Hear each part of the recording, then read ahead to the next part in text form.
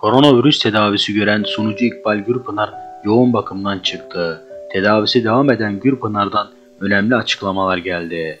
Gürpınar annesini, babasını ve eniştesini koronavirüs nedeniyle kaybetmişti.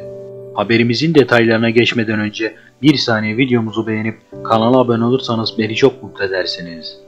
Kendisi de bir süredir yoğun bakımda koronavirüs tedavisi gören İkbal Gürpınar odaya alındı. Annesinin cenazesine bile gidemeyen Gürpınar çok ağır geçirdiği hastalık sürecinde yaşadıklarını sosyal medya hesabından paylaştı.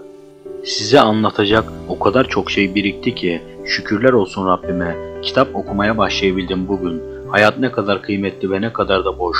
Hasta yatağınızda anneniz ölüyor cenazesine bile katılamıyorsunuz. Nefes almak ne büyük bir nimet. Bir bardak çay ve pilav, sağımdan soluma dönebilmek, konuşmak yasak hala. Ciğerlerimi yormamak için yoğun bakımda o hummalı çalışmayı, o fedakarlığı gördüm ya, ömrümün geri kalanını doktor ve hemşirelerimiz için dua ederek geçireceğim inşallah.